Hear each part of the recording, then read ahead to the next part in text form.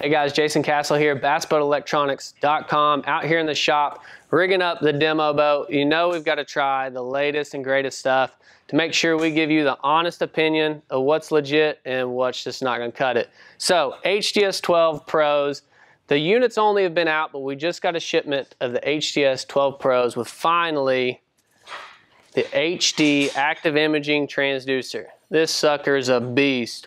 Wah, wah, wah, wah, wah, wah, wah, wah, wah. Super long, but new bolt hole pattern and it's got a heavy duty mount. So it's gonna be a little bit thicker metal than you're familiar with on the active imaging three in one, the standard one. And of course it's gonna be plug and play HDS Pro units only. If you wanna run this on a live or carbon, you're gonna have to have a module to be able to run that as well. And you are gonna have some additional transducers that actually do fish reveal and those will have to use, use a module on both the lives, carbons, and the pros. But the HD, the regular active imaging, 3-in-1 and 2-in-1 HD transducers are going to be plug and play on your HDS 12, 16, 10, 9, all your pro units.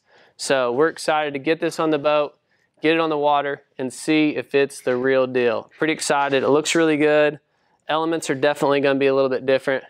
New shape to it. Again, that thing's really massive. We got these in stock and available to ship, bassboatelectronics.com.